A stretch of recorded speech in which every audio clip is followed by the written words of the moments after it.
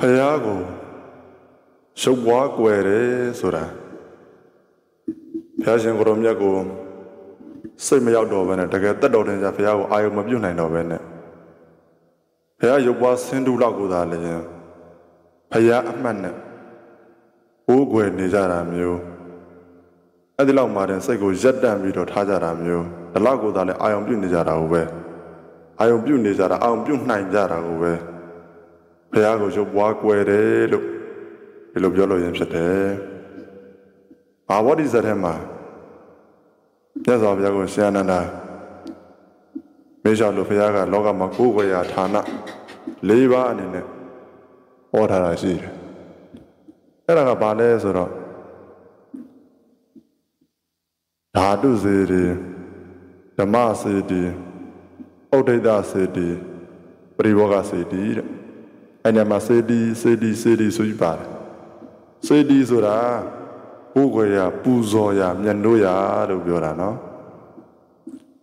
ဓာတုစေတီဆိုတာကဘုရားရှင်ကိုရောမြတ်မရှိတော့တဲ့အခါဘုရားရှင်ကိုရောမြတ်ကလည်းကျွမ်းကြံနေခဲ့တဲ့ဓာတ်တော်တွေဓမ္မစေတီဆိုတာမြတ်စွာဘုရားဟောကြားတော်မူတဲ့တရားတော်တွေသင်ယူခြင်းကြံ့ကြံ့ခြင်းအပြင်ဒါပူဇော်တာပဲနောက်တစ်ခုက ပရိဘောဂစေတီမြတ်စွာဘုရားအသုံးပြုတဲ့တပိတ်တွေသင်္ကန်းတွေဒါလည်းပူဇော်ရပဲနောက်တစ်ခုကဩဒိတစေတီ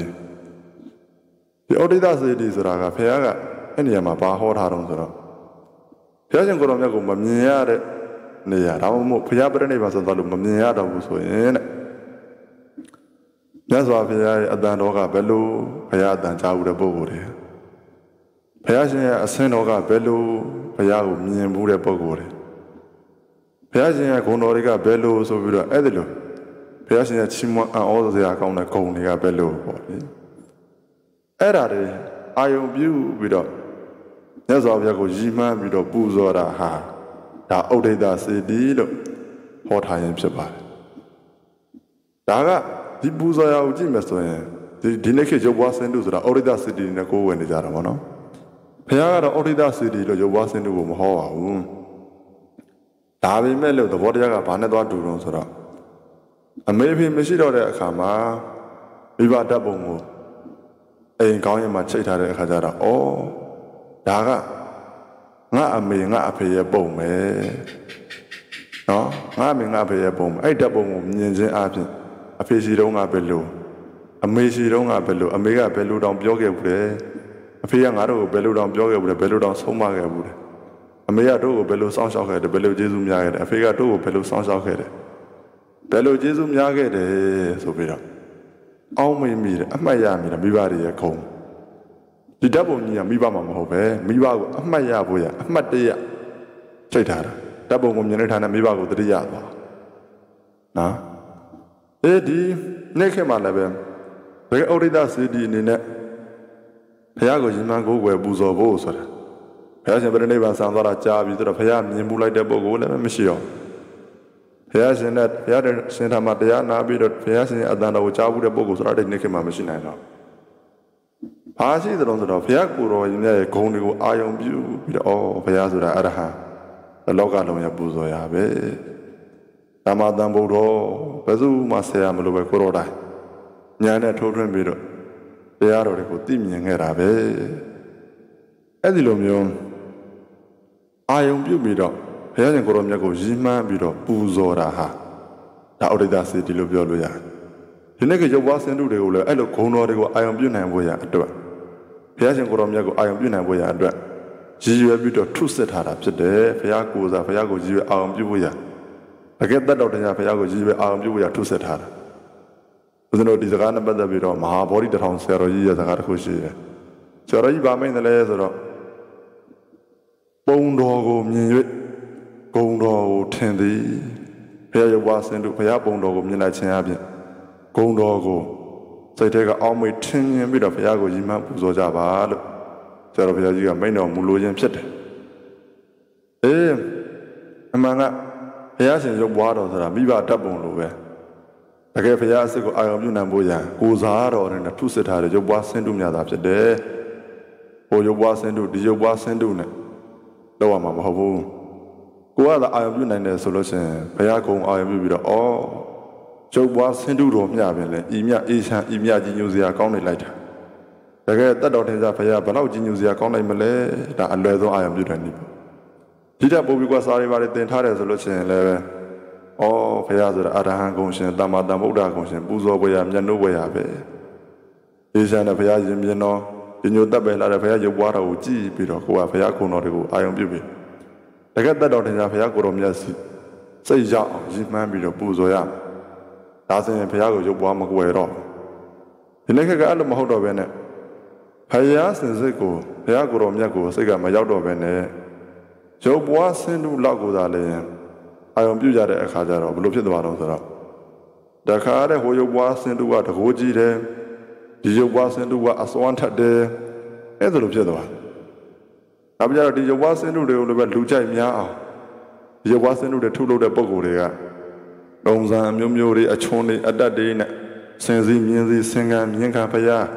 နောက်ဒက္ခိဏသာခါဘာညာဆိုပြီးတော့အဲ့ဒီလိုတွေအဲ့လိုပုံစံမျိုးစုံတွေထုဆွတ်ပြီးတော့ထုလို့ကိုးဝယ်ပြီးတော့နေကြတာတဲ့။အော်ဒီဖရာကတကိုးကြီးတဲ့ဖရာကျန်တဲ့ဖရာတွေအလကားဒီ ကျုပ်ဝါစင်တို့ကသာအစွမ်းတတ္တိရှိတဲ့ဖရာကျန်တဲ့ဖရာတွေအလကားအဲ့လိုဖြစ်သွားတယ်။အဲ့ပြဿနာကိုအလွယ်ကူဆုံးဖြေရှင်းတဲ့နေကိုဦးစင်းဒါရမတွေကိုဓမ္မဒါနပြုပြီးတော့မျှဘူးအဲ့ဒါဘယ်လိုတုံးဆိုတော့ဘယ်ရုပ်ပွားစင်းတို့တွေဘလောက်ထုထားထုထားတကယ်တော့ဖယားဆိုတာတဆူတည်းပဲလို့အာရုံပြုလိုက်နော်ဦးဇင်းတို့ဒါရမတွေကကောင်းလို့ကောရမမြတ်စွာဘုရားရှင်သာသနာတော်မှာလူဖြစ်လာကြတာဆိုတော့ ကောရမဘုရားရှင်ကိုရမြတ်ရဲ့အဆုံးအမရရောက်မှာနေလာကြတယ်လို့ပြောလို့ရတယ်အဲကြတော့ဘုရားရှင်ရဲ့တပည့်တွေဖြစ်သည့်အားလျော်စွာဟောရမမြတ်စွာဘုရားတဆူတဲ့ပဲရှိတယ်ငါတို့ဆရာမြတ်စွာဘုရားဟောရမမြတ်စွာဘုရားပဲလို့ဒီလိုသဘောကျပြီးတော့အာယုံပြစ်ပြီးတော့ပူဇော်လိုက်မယ်ဆိုလို့ရှိရင်ဘယ်ရုပ်ပွားဆင်တုပဲဖြစ်ဖြစ်ဒါဟာ တတ်တော်ထင်ရှားဘုရားကိုမကွယ်တော့အလွယ်တကူအာယုံပြစ်လို့ရသွားတယ်ဘယ်ရုပ်ပွားဆင်တုကဘယ်ရုပ်ပွားဆင်တုတဲ့သားလုံးနဲ့ဆိုတာမျိုးလဲမရှိတော့ဘူးပေါ့နော်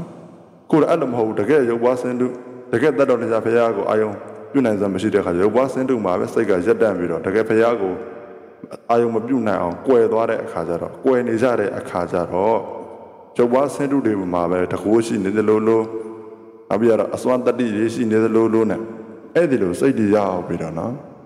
အစွဲတွေနဲ့ထားတဲ့ဟိုရုပ်ပွားဆင်းတုကဘယ်လိုကြည့်လို့ကောင်းတာဒီရုပ်ပွားဆင်းတုကဘယ်လိုထူးဆန်းတာနော်ဘယ်လောက်ဒီအထူးဆန်းလုပ်လိုက်တဲ့တုံးဆိုလို့ရှိရင်ဖရာကောင်းမမွေတင်ပြီးတော့တခါနဲ့ဖရာဖယားနဲ့မွေနဲ့ဘာအဆက်တယ်လဲတကယ်ဖယားကြောမလားမွေကြောမလားကိုမသိတော့အဲ့လိုတွေဖြစ်ကုန်ဒါတွေကတော့လူအထင်ကြီးအောင်လူတွေထင်အောင်ထင်မှားဖြစ်ပြီးတော့တကယ်တတ်တော်နေကြဘုရားကိုအာယုံမပြုနိုင်တော့ဘူးအဲ့ဒီလိုအထူးအဆန်းနေထူးအဆန်းဆိုလူတွေအဟုတ်မှတ်ထားပဲလေ အဲ့ဒါမျိုးတွေအာယုံပြုသွားအောင်ဒါလှုပ်လိုက်တယ်လို့ဖြစ်သွားတာပေါ့နော်အေးဒါတွေလည်းပဲမလောက်အပ်တဲ့အရာတွေဘုရားရှင်ရီမန်းထုစစ်တဲ့ယောဝဆင်းလို့ဆိုတာဘုရားနဲ့အနိစ္စဆုံးတူညာတတ်တော်တရားဘုရားနဲ့အနိစ္စဆုံးတူညာရီမန်းပြီးတော့ထုလို့ရတဲ့အထူးအဆန်းလောက်ရမှာမဟုတ်ဘူးဒါဟုတ်ပြီဒါယောဝဆင်းတို့ကိုပင်စိတ်ကိုရက်တတ်မထားဘဲနဲ့ခုံတော်ကိုအာယုံပြုပြီးတော့တကယ်ဘုရားရှင်ကိုတော်မြတ်ရဲ့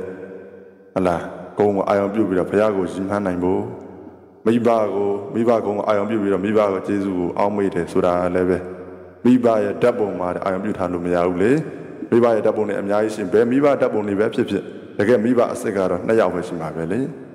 အေးအဲ့ဒါလိုပဲလောကမှာဘုရားရုပ်ပွားဆင်းတို့တွေဘယ်လောက်များများတကယ်တတ်တော်ထင်ကြဘုရားဆိုတာတော့တဆူတည်းပဲလို့အာယုံပြုပြီးတော့ဒါဒါပူဇော်ကြဒါဆိုလို့ချင်းရုပ်ပွားဆင်းတို့မှာတဲ့စိတ်ကမရက်တော့ဘဲနဲ့တကယ်တတ်တော်ထင်ကြဘုရားအထိအာယုံပြုနိုင်ကြမှာဖြစ်တယ် တနည်းပြောရရင်ဘုရားကိုရုပ်ပွားမကွယ်တော့ဘူးပေါ့လေ